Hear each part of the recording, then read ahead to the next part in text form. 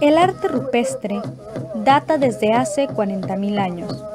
Nuestros ancestros fueron los primeros en mostrar al mundo su arte a través de la pintura. Con ella daban a conocer cómo estaban organizados socialmente. Mostraban cómo se conseguía realizar una caza de algún animal para su consumo, sus costumbres y lo que ellos practicaban como una tradición.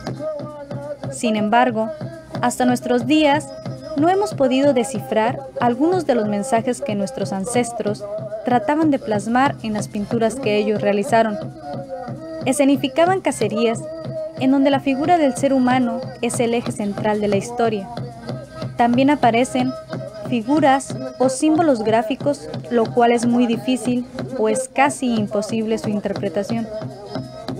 Existen dos amenazas que deterioran el arte rupestre.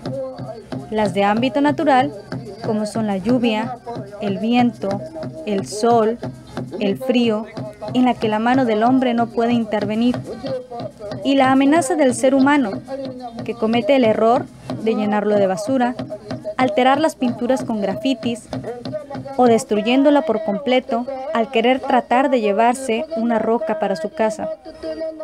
Este tipo de arte forma parte de nuestros inicios como seres sociales. Es un mundo de información útil que nos ayuda a conocer mejor todo nuestro entorno.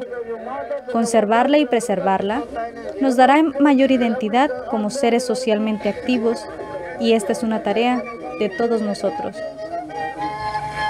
kenan wani abu yanzu to a namu fara